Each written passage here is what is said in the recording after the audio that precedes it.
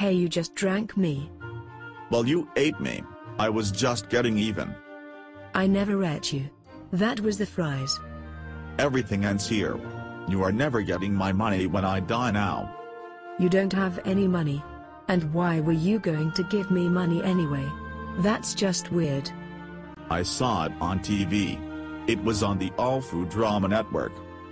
Oh yeah, I think I saw that episode. It was really funny. I couldn't stop laughing when she pretended to die. SHE wasn't pretending.